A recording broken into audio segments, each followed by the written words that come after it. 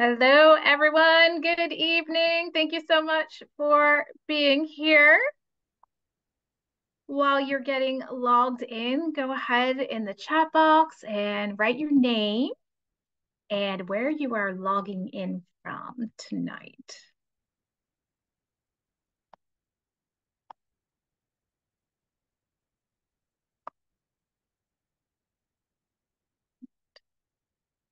And if your little blue button is set to hosts and panelists, go ahead and switch that to everyone.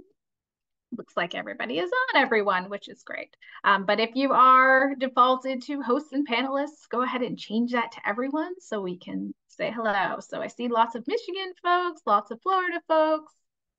Who have I missed? North Carolina. More Michigan, yay, epic. West Virginia. Where else? Florida, Florida, lots of Florida people. Hello, leaders. More Michigan.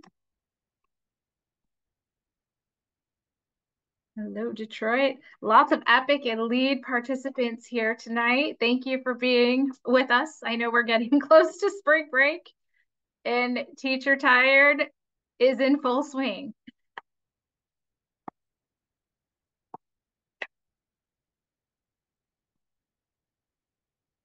Oh no, it's back to cold, Lauren. It was very hot here today. it's very hot. I think we might be done with winter. I don't I don't know. I'm not ready for winter to be done yet though. Our temperature up here in New York is dropping like a stone tonight. So we had like nice 55, 16 degree weather today. I shouldn't say nice because it was, you know, rainy, but uh then it's going to be like in the teens tomorrow. So, so Richard is asking where in New York. Richard is also a native New Yorker. I live uh, just south of Newburgh, which is in the Hudson Valley, so about 60 miles north of New York City on the west side of the Hudson. That's a very nice area of the country. it is. It's beautiful. I'm originally from North Dakota, so I'm a transplant, but I've been out here since 2009. So I think I've officially adopted some New Yorker tendencies. Right. Well, fantastic. I have right at 7:30.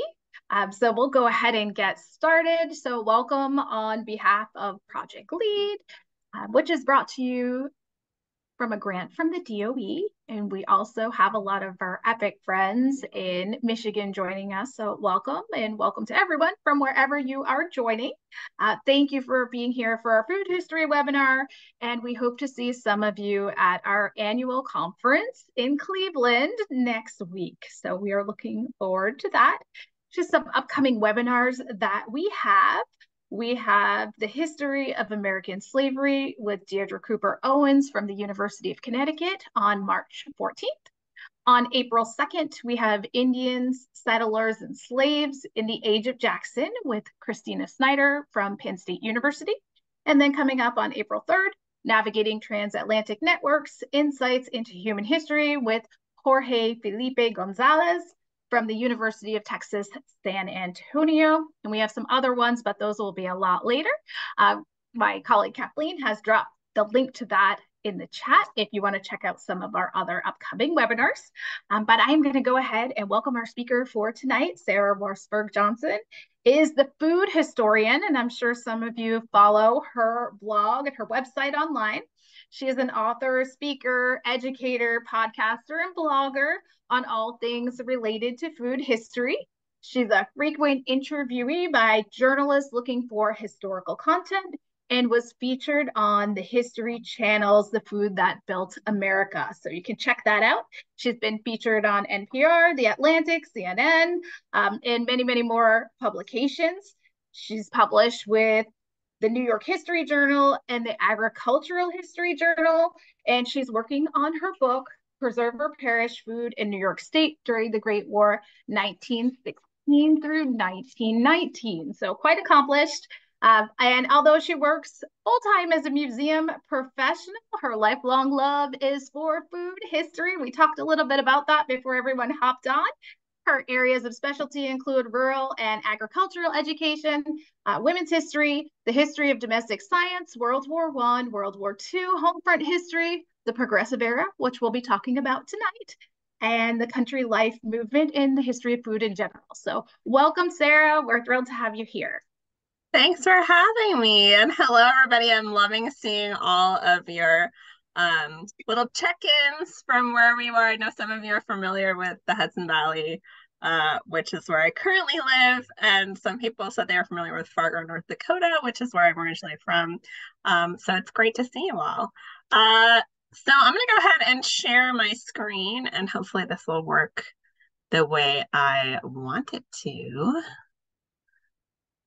Let's see.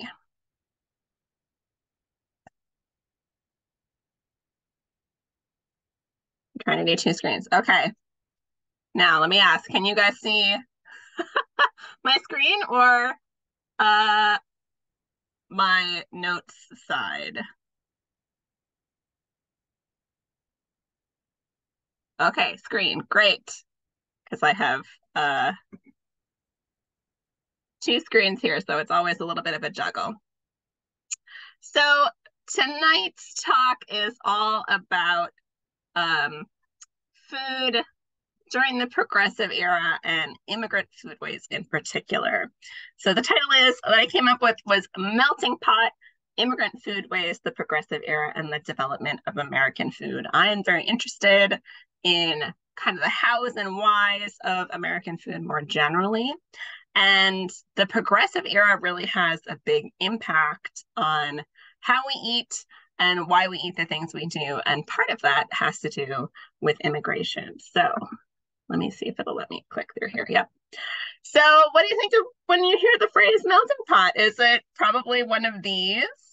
Um, the idea of a melting pot comes from metal smelting which is this idea that disparate parts of metal can be melted down to make a single whole, right? And many people argue that the United States is more of a mosaic than a melting pot, and that the smelting metaphor more generally implies the erasure of certain characteristics, right?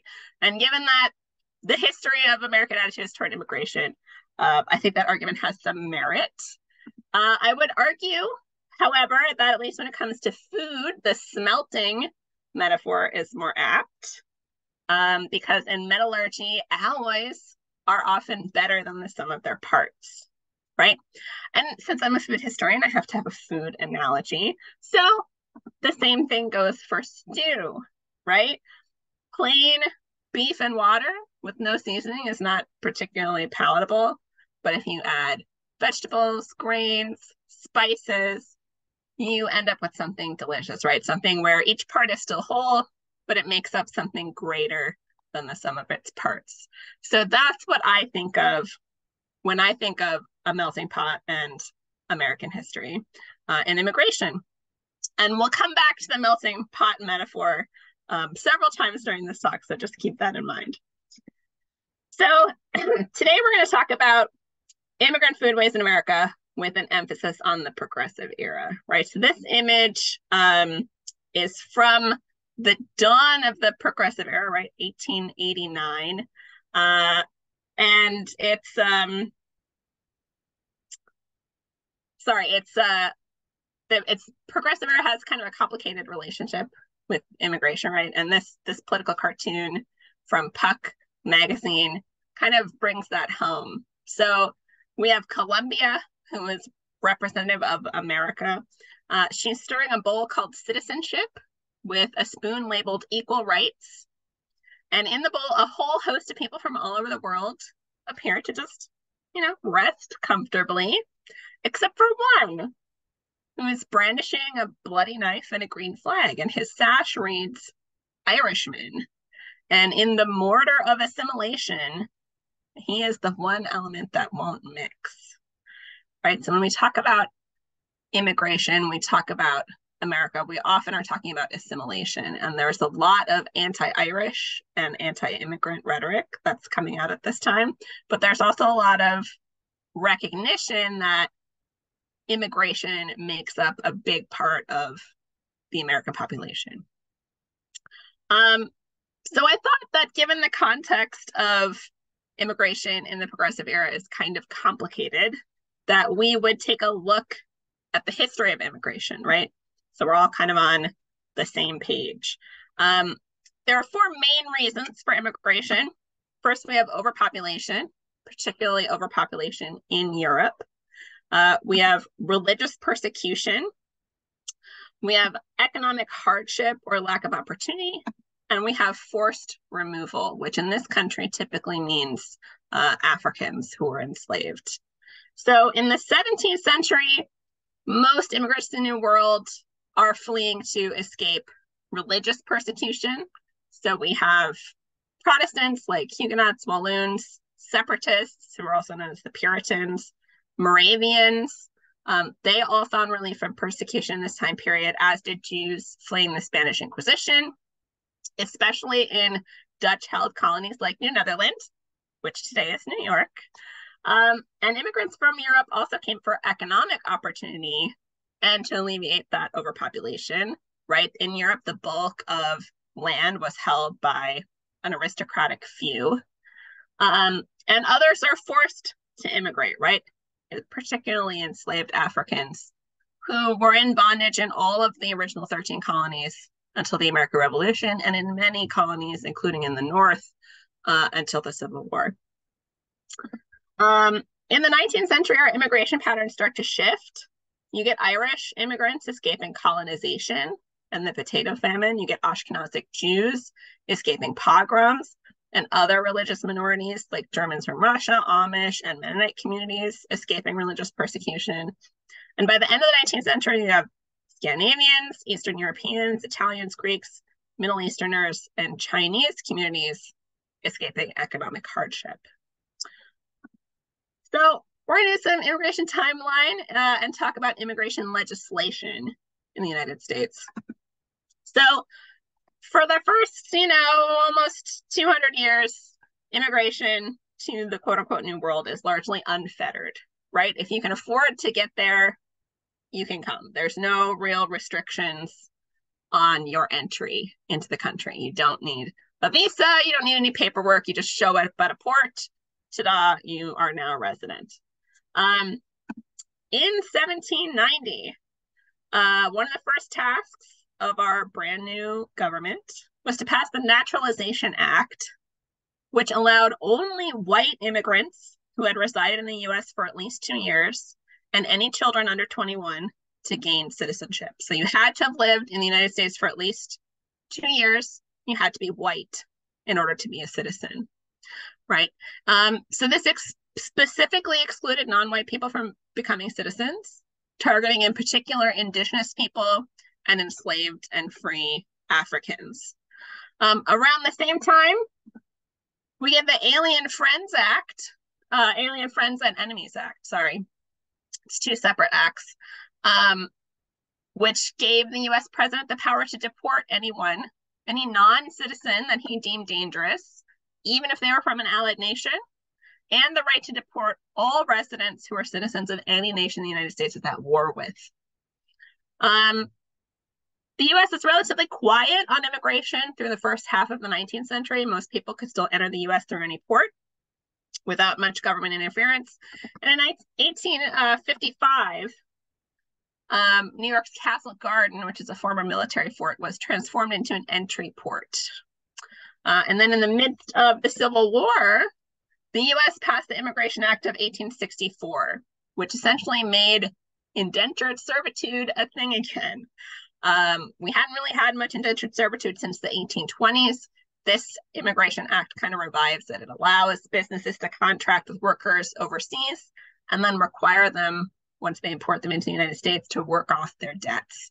Uh, it was very unpopular with labor organizers, um, so much so that that law was actually repealed in 1868. Here we have a few images that uh, we associate generally with Castle Garden. So like I said, it started as a military fortification. It's located on, on the tip of lower Manhattan. Um, but by the mid 19th century, it becomes sort of like a pleasure garden. Uh, and so when it's transformed into a point of entry for immigration, it led to some kind of tongue in cheek cartoon. So this is a labor exchange. This is a more serious sketch. Um, basically, people show up outside Castle Garden and it's kind of like a hiring fair, right? If you're looking for day laborers, if you're looking for servants, you can go there and hire people.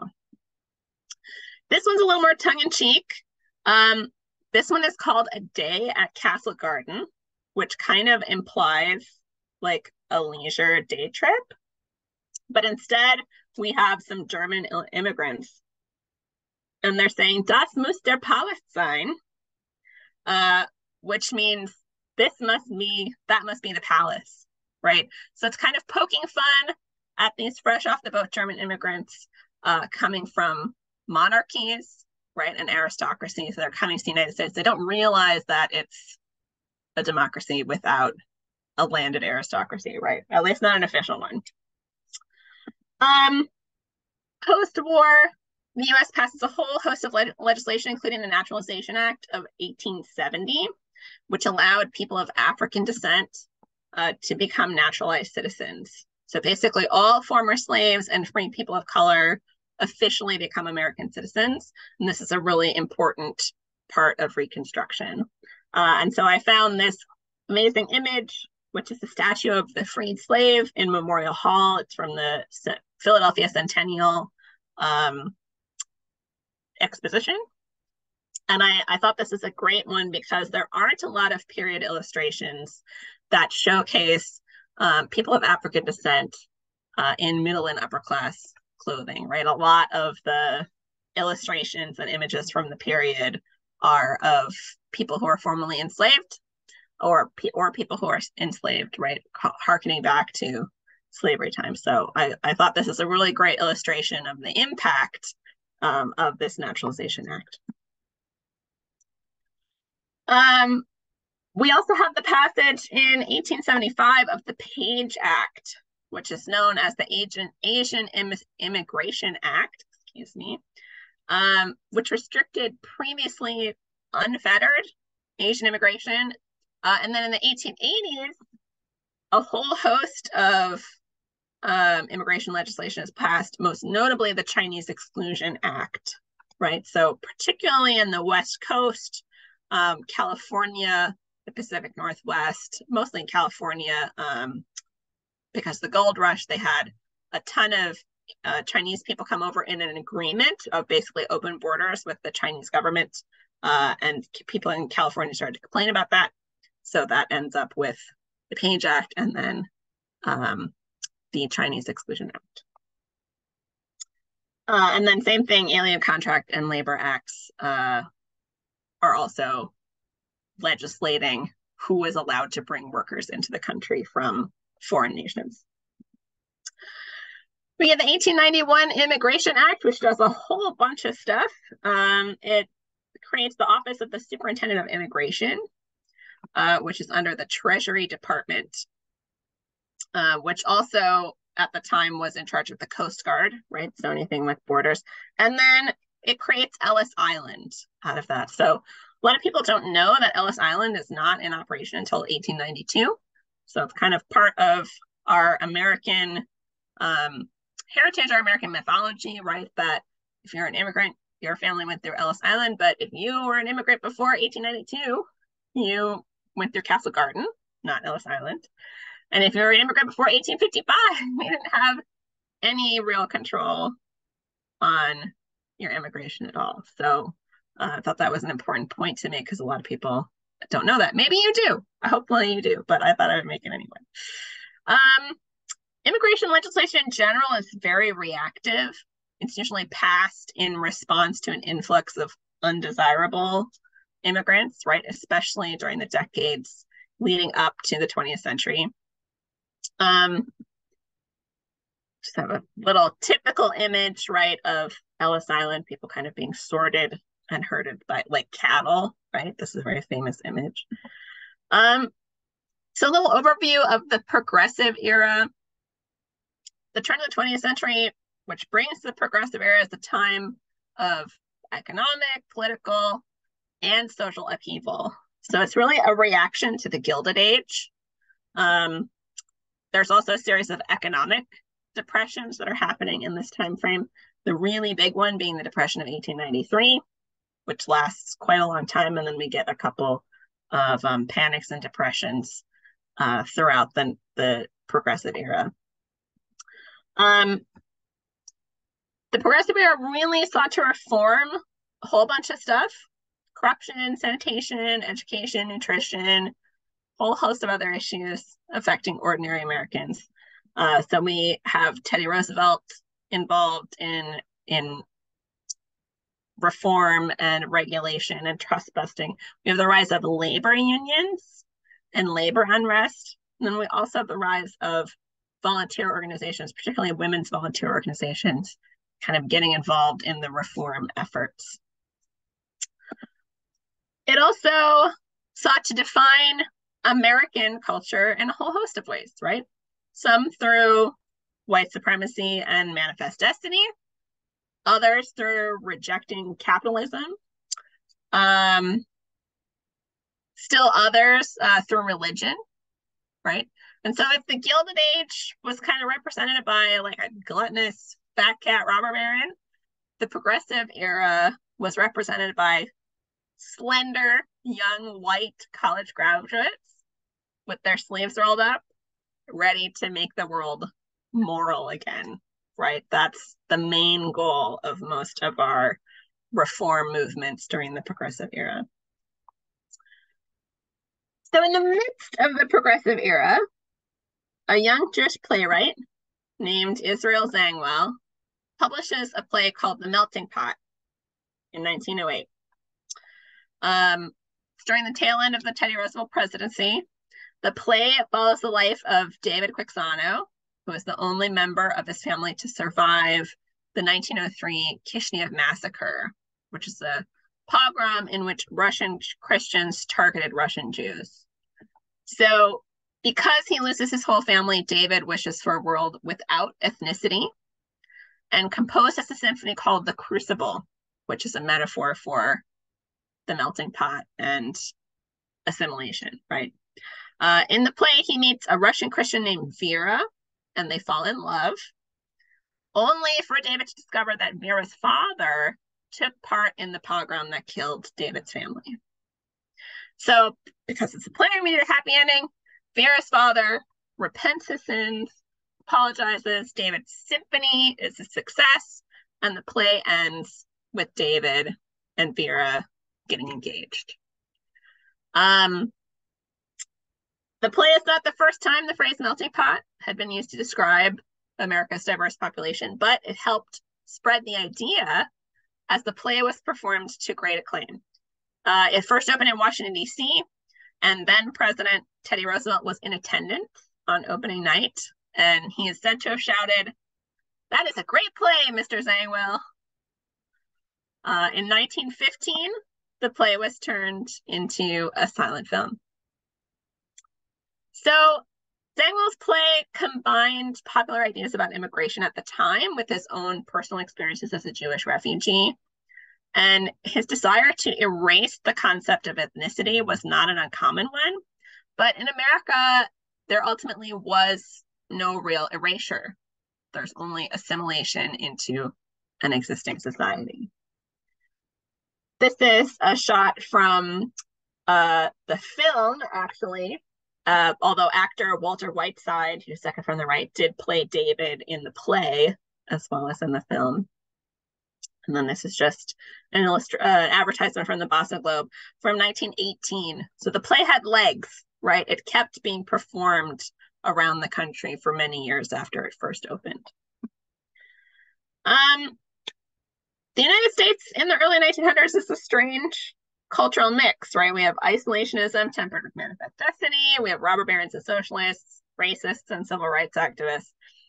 But a few common threads ran across most of society, which is that white Protestants were the dominant cultural group, um, that Anglo-Saxon culture was American culture, that economic and social stratification was a natural and even desirable part of life, and that America was the most superior country in the world, right? That more morally pure than the corrupt aristocracies of Europe, but also intellectually superior to non white nations.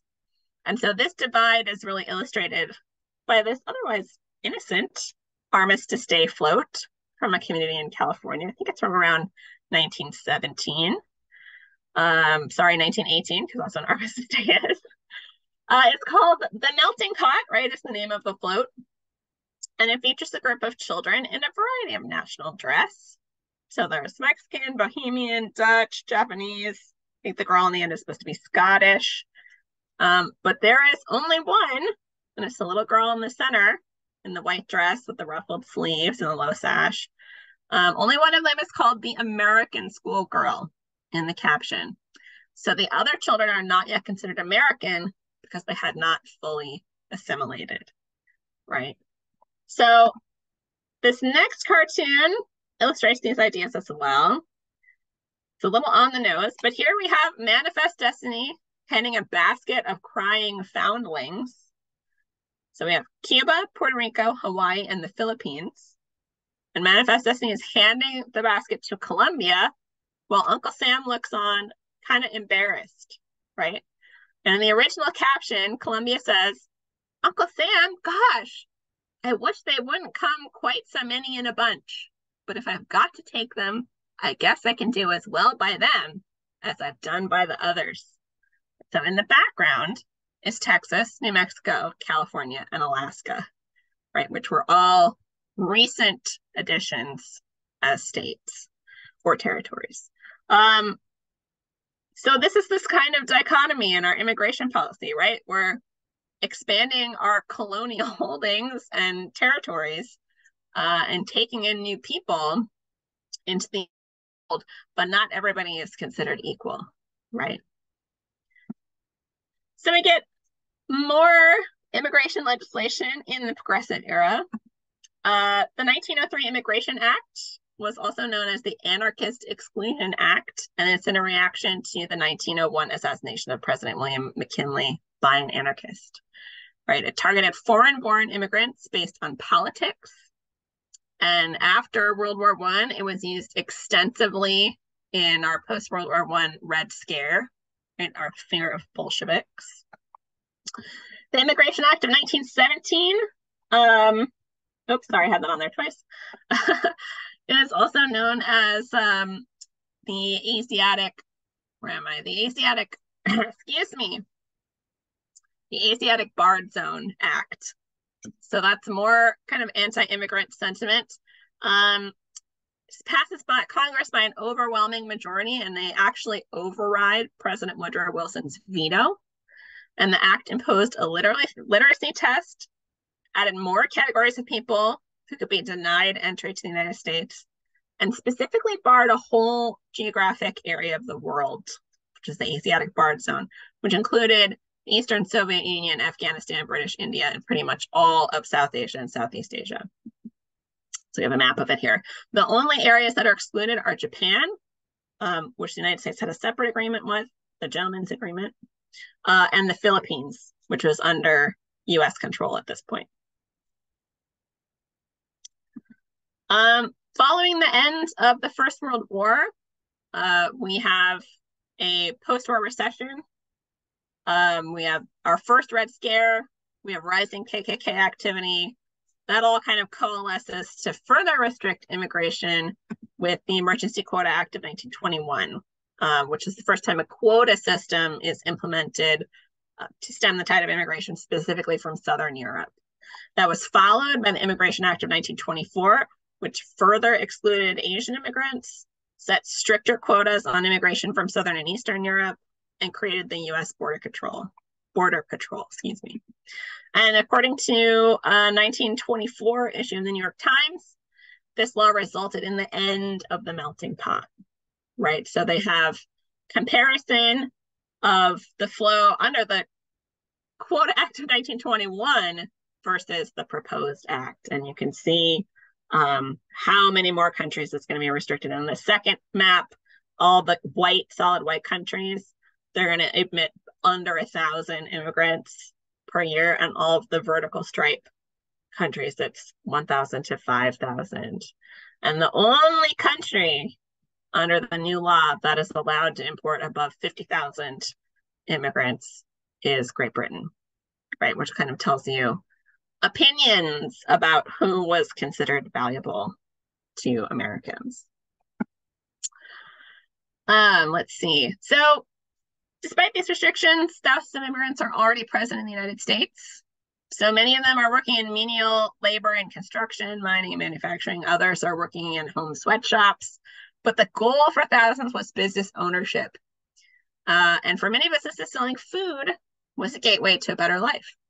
So I have this nice Milwaukee lager picture up because Germans had already made a name for themselves in agriculture, brewing, and butchery by the turn of the 20th century. Um, Italians, Eastern Europeans, Chinese, and Jewish people operated push carts um, or peddled goods, everything from shorts and eyeglasses to baked goods and vegetables, like this Chinese peddler in, in California. Um, other people operated delis, coffee counters, greengrocers, butchers, and small restaurants. And for people in urban areas housed in slums and tenements, those with kitchen access often found work cheap cooking cheap street food to people without kitchen access. Um, yeah, sorry, I just went through all that without realizing it. Excuse me. Um, so for progressive era reformers, right, who are looking to clean up society, immigrants are kind of considered a necessary evil, right? They're needed for a labor force, but for in, in the opinion of a lot of progressive reformers, they have the wrong ideas about language, food, hygiene, religion, even family and social practices. So much of the handling of immigration centered on quick assimilation, right? The subsuming of immigrant culture, language, and lifestyle to the dominant white Anglo-Saxon Protestant ideal. ideal. Uh, they also sought to impose Protestant work ethic, temperance, sanitation, nutrition, and Christian morals on immigration populations, immigrant populations, and everybody, basically. they, wanted to do it for everybody, but it was easier to start with immigrants. Um, so we just have some push cards here. Not everybody in the period agreed with these ideas. A lot of people protested them, but they remain kind of the dominant ideas in society to the point that ideas like eugenics and even forced assimilation of indigenous people through residential schools. Um, like this is an example of a cooking class at the Carlisle Indi- Indian School, which is just one of dozens, if not hundreds, of residential schools around the country that basically committed uh, cultural genocide against indigenous people um, and then also tracking children of color into educational institutions designed to train them only in manual labor and household service were celebrated. So a lot of these schools did offer opportunity, but limited opportunity. Specific groups were also targeted for various reasons. Uh, the German and Irish, in particular, were vilified for their beer culture. The Progressive Era is a time period uh, where society is very interested in temperance and ultimately passes a constitutional amendment banning alcohol, right? And this cartoon illustrates it. Um, it's called A German Beer Garden in New York City on a Sunday Evening. And from a modern perspective, this doesn't look too terrible, but if you think about it from the progressive era perspective, Sunday evening is not a time that you're supposed to be out at a dance hall and you're not supposed to be out with your family and you're not supposed to be serving your children beer, right? Which is exactly what's happening here. So this is a critique of German beer garden culture. Um, Italians, Jews, and Eastern Europeans were vilified for eating garlic, right? And other like spicy foods for drinking alcohol. Also, poor households were targets for criticism of their housekeeping, cooking, sanitation, child rearing, education, and more. And pretty much all households were criticized for buying food from street vendors. Um, and then Catholics and Jews were also targeted for their religious beliefs. Um, some progressive reformers, notably the settlement house movement, sought to assist immigrant communities with education and assistance. Uh, but even the most sympathetic still often had assimilation as an ultimate goal, right? Other groups were much more overt in their disdain and I think had kind of limited results as a limited um, effect as a result because Uh, nobody likes to be condescended to, right? So the stew that was American Foodways was also kind of changing dramatically at this point. The progressive era marked a number of important shifts in American life. Uh, for the first time, we get an urban pop, uh, urban rural population shift. About 1920, the urban population takes over our rural population across the United States. But throughout the progressive era, people are leaving rural areas for urban areas. So that's shifting not only our balance of political power, but also how people ate. Um, we get the development of railroad system, national railroad system and canning technology at the end of the 19th century meant more and more people had a wider access to a larger diversity of American agricultural products, uh, including canned and fresh produce. And more and more people routinely ate outside the home, especially, like I said earlier, the urban poor who often did not have kitchen facilities in their tenements. Household management was also changing. So the middle class in the Victorian period often had at least one household servant. In the progressive era, it is super hard to find live-in servants, right? Because we have more and more opportunities for wage labor, especially for women. And so people are having to resort to packaged convenience foods to kind of bridge the gap. Um, American food is still kind of loosely established, but a couple things stand out, right? So our progressive era nutrition best practices say that beef, milk and dairy products, white bread, and refined white sugar are all part of conventional nutritional wisdom, right? You got our fat, protein, and carbohydrates. That's all you need. Oh, and maybe also some vegetables and fruit for fiber. They're mostly water, right? We did not know about vitamins in this time period, although 1912 is when vitamin C is first isolated and identified. Um, most of the rest of our vitamins are not discovered until the 1930s and 40s. So scientists knew that there were some essential elements besides proteins, carbs, and fats that were important to human health, but they didn't not they didn't know what they were or where humans got them from. Um, nutrition scientists were also applying calories to the digestion of food. So they touted traditionally British style foodways that have been popular in America for about a century, right? Are meat and three, uh, because that was easy to calculate the calories of. It was much harder to calculate the calories and nutrition of mixed foods, right? Which factors into a lot of the critiques of immigrant foodways as well. Um, a few 19th century foods were labeled as American, particularly pie, especially pumpkin and apple pie, um, cornbread and biscuits, turkey with cranberry sauce, pancakes with maple syrup, ice cream, baked beans, steak potatoes, bacon, tomato ketchup, American style cheddar cheese. These are all developed separately from European style foods in the 19th century, right? So they are rooted in English culinary traditions, but they are influenced by indigenous American ingredients and African cooking techniques. And then we have a couple of um, Dutch influences, mainly with like waffles, donuts, apple pie cookies. The word cookie comes from the Dutch. And then French influences with like ice cream, white sauce that we put on everything that's bechamel, whipped cream, macaroni and cheese, all that fun stuff. So these are all reflective of the colonial world primarily in the Northeast and also a little bit in the American South um, that are still kind of consider these traditional American foods at this time. So I thought we'd start talking about our individual immigrant groups, and I thought we'd go kind of by chronological order, more or less. So we can start with the Germans, right? There are two main immigrant groups in the early 19th century, the Germans and the Irish. Uh, and the Germans actually have the most influence on American foodways. Um, they're among the earliest Europeans to settle in colonial America, but it really wasn't until the 1820s when large numbers start to come to the United States, mostly seeking agricultural lands, which were increasingly scarce in Germany. And by the second half of the 19th century, more and more Germans were emigrating to cities instead of farms, right? So Germans working in food production went on to have a big impact in American foodways. And uh, one of the first and probably least expected one is lager. So I have this great little Schlitz Brewing Company uh, illustration here. So prior to the introduction of German style lager beer, most Americans were either drinking hard cider, English style ale, or hard liquor.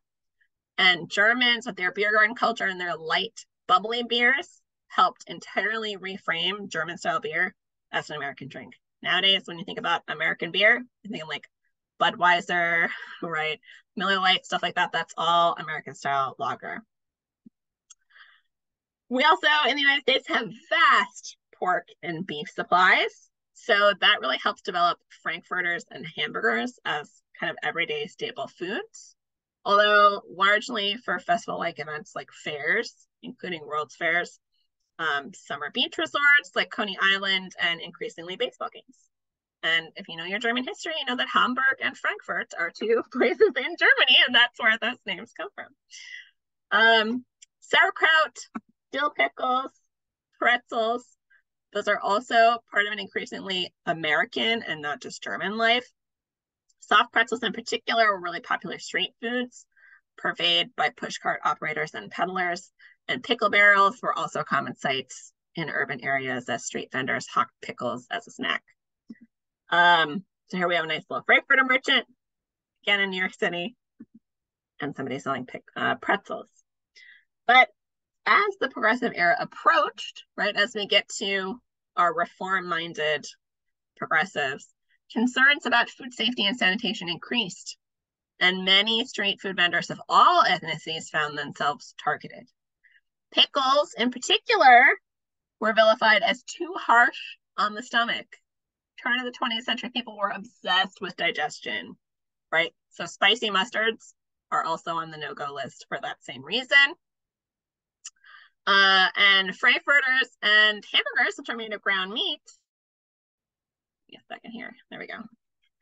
Um, are subject to increased scrutiny thanks to the likes of books like Upton Sinclair's The Jungle and The Horrors of Meat Packing. The slang word hot dog didn't help matters, as this little cartoon illustrates. So, dog and some puppies and they're saying, I wonder which was father. And it's fresh Frankfurter Day at the deli, which is just like, ah. But that was meant to get people to not want to eat hot dogs, right?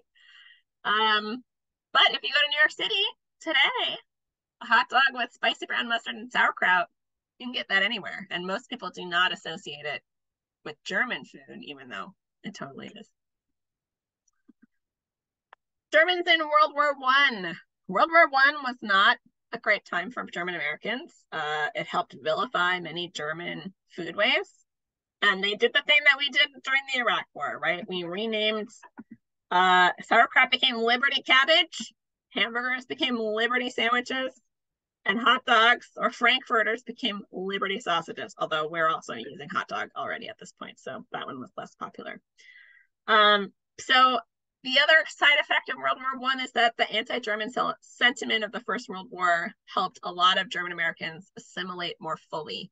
Right, it was more shameful to be proud of your German heritage, and so by the end of World War II, most of these German foods are have become American, and they're kind of indistinguishable from from German culture, at least by ordinary Americans. I'm going to talk very briefly about Ireland. Um, although millions of Americans today claim Irish ancestry, the impact of Irish immigration on American foodways has been less than other groups. Uh, most Irish Americans can trace their ancestry to immigrants fleeing the Great Famine of the 1840s, which you probably know, potato blight decimated food crops for Irish tenant farmers. Um, and the ruling British government basically refused to do anything about the famine. And they continued exporting thousands of pounds of food from Ireland to the UK, uh, even as tens of thousands of Irish people starved and were thrown off of their farms for failing to pay the rent.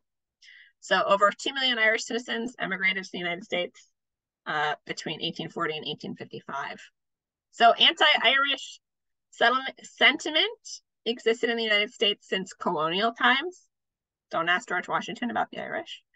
Um, because Ireland was a colony of England for centuries, and its primarily Catholic citizens were considered less intelligent and capable than their English overlords.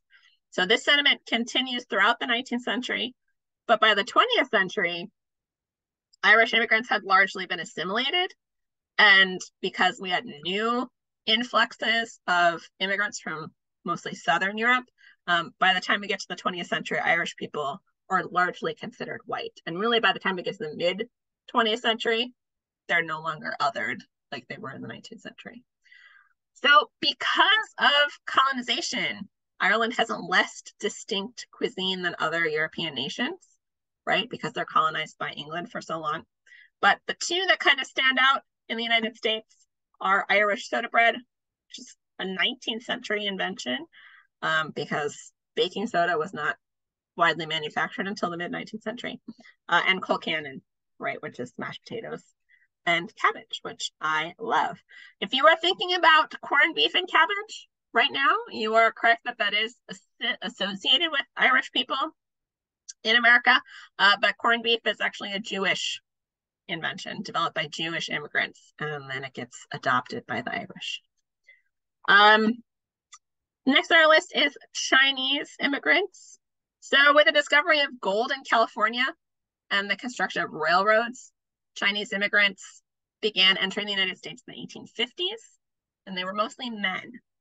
Um, so in 1868, the Burlingame Seward Treaty between the US and China actually allowed free migration of Chinese laborers into the US. I mentioned that earlier. But due to a shortage of women in the American West, many Chinese immigrant women ended up working in prostitution. So part of the 1875 Page Act, also known as the Asian Immigration Act, um, purposely forbade the importation of immigrant women for prostitution um, and was concerned that a lot of Chinese laborers are being, being imported against their will. So it also forbade involuntary immigration from Asian countries. So because you couldn't tell who was being imported for prostitution and who was coming to like join their husbands, um, that basically banned Asian women from entering the United States. And this creates kind of bachelor communities among Chinese and other Asian immigrants. Uh, and then in 1882, in reaction to increasing racism against Asians in the West, the Chinese Exclusion Act actually halted all Chinese immigration for a period of 10 years It was the first American law to restrict immigration based on nationality alone. And after several extensions, it was finally extended indefinitely. It was not repealed until 1943. So the Chinese Exclusion Act severely restricted economic opportunities for Chinese immigrants already in the country. But in 1915, the types of work allowed were expanded to include restaurants. So this leads to a huge boom in Chinese restaurants in the United States. Previously, Chinese restaurants had been run primarily from then from Sichuan province, who were pretty much catering to American palates. They're not professional chefs, right? But as Chinese food became more popular outside of Chinese communities, the number of chop suey and lo mein houses expanded dramatically. So by the 1920s and 30s, visits to Chinatown whether it's in New York, Chicago, or San Francisco, um, and Chinese restaurants becomes popular among middle and upper class white Americans. Um, American Chinese food, like many immigrant cuisines, was created by Chinese immigrants based on American ingredients and also tastes. So restaurants had to cater to their clientele, and Chinese restaurants often focused on meat, noodle, and rice dishes and far less on vegetable, seafood, and offal that may have been more common at home, right? So Chinese immigrant foodways, like I said earlier, they reflect the training of their cooks, which was not formally trained. Um, formal Chinese cooking is very complicated, and that's not the style of cooking that Chinese immigrants were doing here in the United States. Um, although most Chinese food in America is reflective of this adaptive style of cooking, a few recipes very few recipes have come to be considered American. Uh, one exception is chop suey, which that name gets attached to American foods that are rarely connected to Chinese cooking, right? If you are from the Northeast, chop suey might call something like chili mac or goulash chop suey, right? So it's not necessarily connected. Um, but other foods like sweet and sour chicken, General Tso's chicken, things like that were invented specifically for American tastes. And so by the time we get to the mid 20th century, the popularity of these Chinese restaurants mean that ingredients like soy sauce and chow mein noodles are available in grocery stores, and they end up making their way um, into a variety of dishes invented by non-Chinese Americans, right? So here we have some examples. This is um, a chop suey house in Chicago from 1907. You can tell that the clientele is probably designed to be very wealthy. It's very, it's leaning in very heavily on the chinoiserie. Uh, this is a still from a film, 1922 silent film called Chop Suey. And this is the actress Dorothy DeVore wearing yellow face, basically. That was very popular um, in 1920s and 30s filming.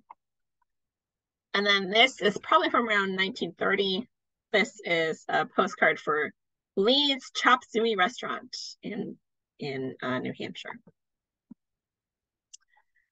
All right, so Jewish and Eastern European immigration, um, the Progressive era saw a greater influx of immigrants from places like Southern Italy, Eastern Europe, especially Ashkenazi Jews, Russia, Greece, and the Middle East.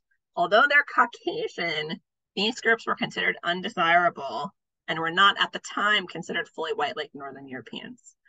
So Jews had been present in the United States from the early colonial time, um, dating back to the 17th century, but Jews in Russia, Poland, and other Eastern European countries began emigrating to the US in much larger numbers in the 1870s to escape pogroms and other persecution. Um, and then following the 1905 Russian Revolution and the rise of the Soviet Union in 1917, more Eastern Europeans fled to America, either escaping religious or political persecution or seeking economic opportunity. And the Russian artificial famine of um, called the Holodomor in Ukraine uh, led to more immigration. Because of religious restrictions on their food, um, Ashkenazi Jewish immigrants were often butchers and owned delis and dairy bars. So dairy bar is a place where you do not have meat, so Jewish people can eat dairy and still keep kosher. Uh, and Jewish delis are responsible for a number of foods that most Americans do not often associate with Judaism, including corned beef and pastrami, especially on Jewish style rye bread, chopped liver, bagels and bialys, uh, and blintzes. Uh, although many of these foods are more broadly associated with deli culture in the Northeast, just about any diner in America can get you a Reuben sandwich or corned beef and hash. And bagels, in particular, have become especially American. They're almost completely divorced from their Jewish origins, uh, at least outside of New York. Uh, other European immigrants produce food like borscht from Ukraine, blini from Russia, pierogies and kielbasa from Poland, goulash from Hungary, and more. I'm going to skip ahead a little bit because we're running out of time. Um, Greek foodways, briefly, Greek War of Independence began in the 1820s. That's when we start to get Greek immigration. Um, picks up again in the 1890s. Um, we have a pogrom in 1909 in Omaha, Nebraska, largely because a lot of the bulk of, of Greek immigrants were men as many of ni- as 90%, which is much higher than other immigrant communities. Um, and so, especially post World War One, um, pretty much Greek people realize they can't. Greek men realize they can't go back, right? Largely because of um, there's a genocide against both Greeks and Armenians and Assyrians by the Ottoman Empire post World War One, which means a lot of people can't go home. So Greek immigrants in the 20th century often worked in restaurants, especially diners.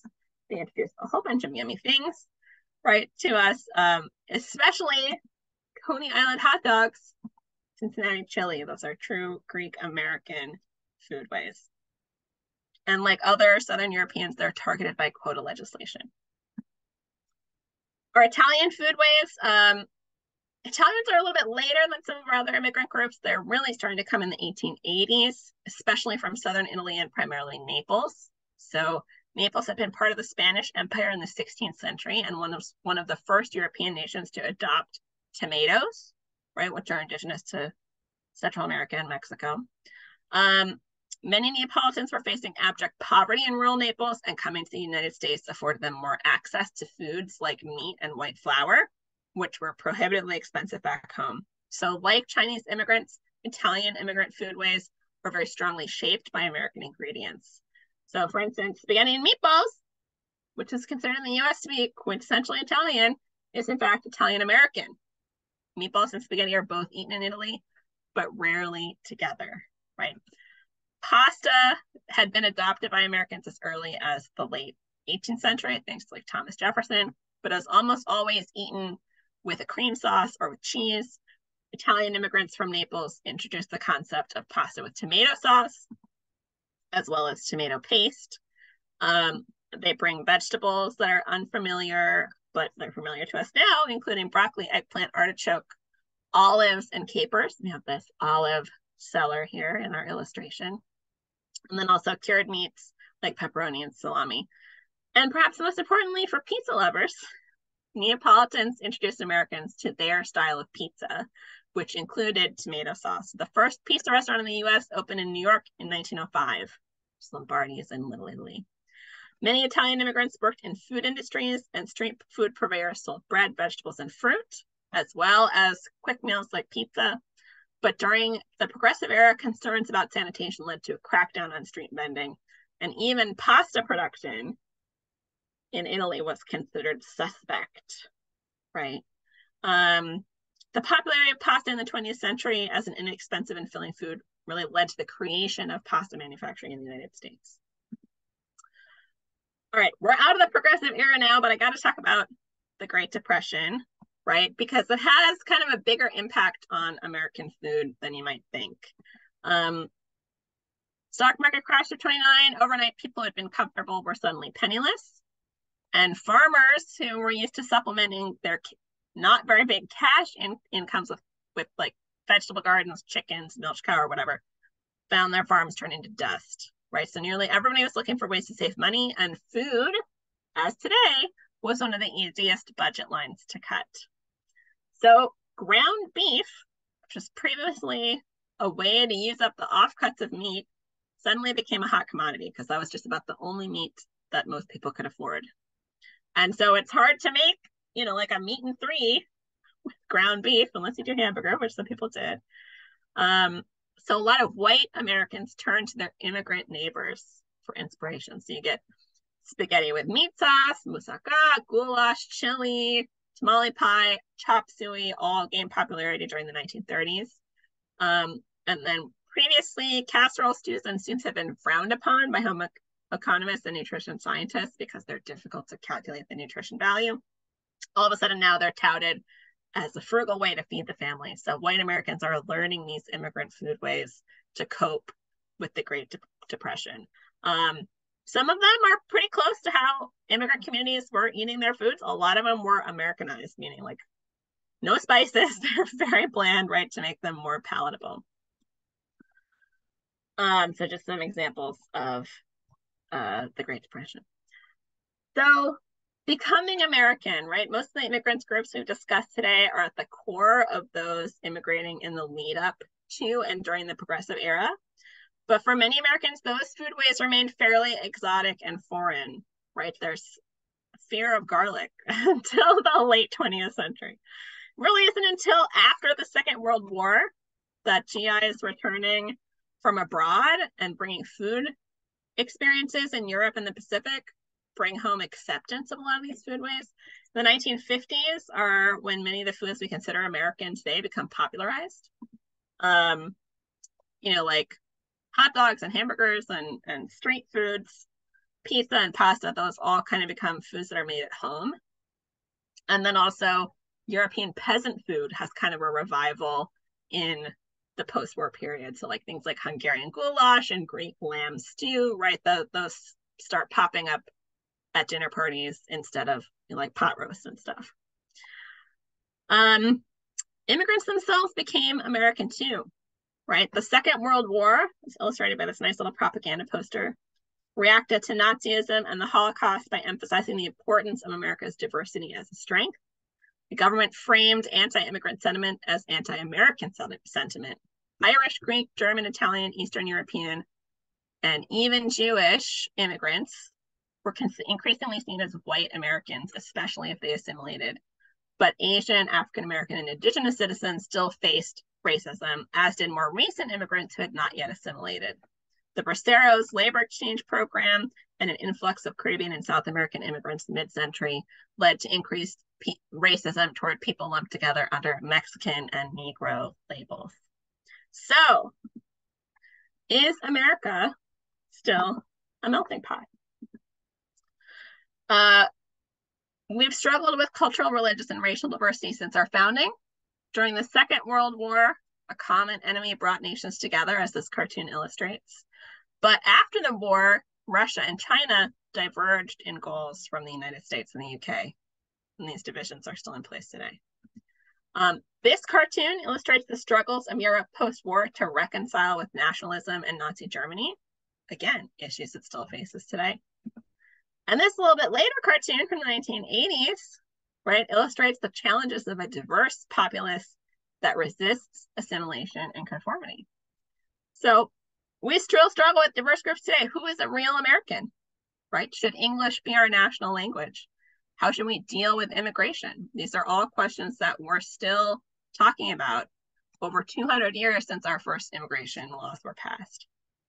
So one thing that has changed since the past is the increased acceptance of immigrant foodways into ordinary American households.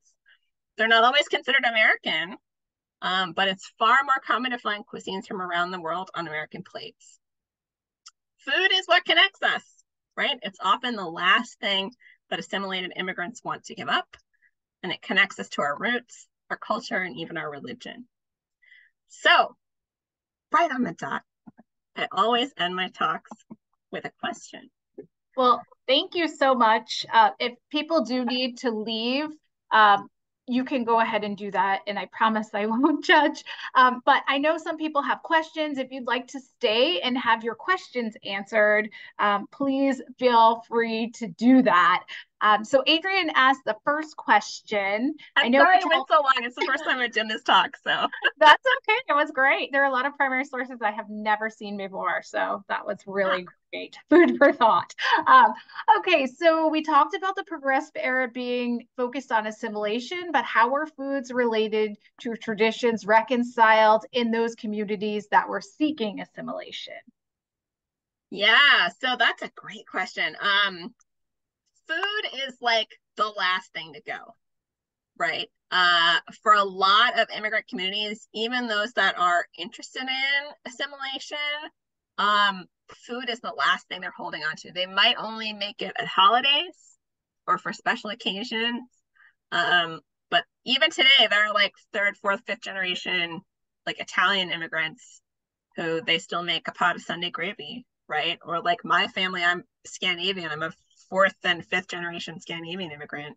So we still make Scandinavian style Christmas cookies and like rice pudding at Christmas time. So um yeah, I think food is that one last connection that people want to hold on to. Language goes, you know, um other cultural practices go, music, dancing, art, all that stuff goes, but food is usually the last thing to hold on. So yeah, all right, fantastic. Then Richard asks, how did the diversity of the melting pot of food influence the evolution of C rations during the world wars and beyond?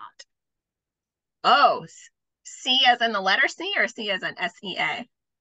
The letter C. that is a great question. And I don't know that I'm going to be able to answer it super accurately, but I will tell you that what I know about World War II is it has a kind of a homogenizing effect on American foodways, and it's kind of the death of regional foodways in a lot of ways because you get people from all over the country coming together and eating the same style of food. So I usually use the the metaphor of um, Thanksgiving. Like Thanksgiving is when a lot of like traditional American foods are consumed, but there's still some regional differences. And so when you're in the military, guess what? You got the New England style of Thanksgiving because that was the dominant culture in you know the people who are nutrition scientists and controlling what what people are eating so um the military also like i said does expose gis to foreign foods but i don't know that much about the C rations themselves if they were were reflecting the the tastes of the troops? I think not really. I think they were more concerned with with new, the conventional nutrition wisdom of the time. But that is a great question, and now something that I want to look more into. We're gonna check on your blog to see if we find our answer. Oh gosh, I go down the rabbit hole so much. Yeah. Great. Uh, quick question from Brooke. Uh, she has a burger related question. Have you ever had Carol Widman's chocolate covered potato chips? Did I say that correct? yes. Yes. Chippers, chocolate chippers. Yep. That is a Fargo, North Dakota specialty, and they are delicious. Chocolate covered potato chips. Could you have a more American snack? yeah, we didn't eat them super a lot when I grew up because they were kind of expensive and my family was not particularly wealthy, but I have had them and they are delicious. Fantastic. Well, Brooke, save some for me. I want to try for sure. And then Kelly asks, were Chinese recipes simplified because there weren't many women of Chinese descent allowed in the U.S. Um, and adapting to U.S. taste? And it says, I imagine that most places women did much of the cooking at that time, and that young men might not have done cooking prior to coming in the United States. That is a really great question. Um, I don't have hard evidence, but my assumption is that that is the case because I have run across stuff about um, a lot of Chinese cooks not being cooks in China.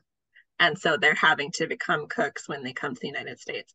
I think a lot of it though really is um, a lack of ingredients because a lot of chinese cooking is kind of complicated right? It, it has a lot of sauces and a lot of, of things that are not typically available in the united states. But i think that's one of the reasons why it is simplified um, but also they're when they're opening restaurants they're catering to white american palates. Um, so it's like things like Peking duck and suey and lo mein and you know kind of stir fry things that are not typically part of classical Chinese cooking, right? They're adapting to what's available in the US. Fantastic. Um, one more question from Daniel.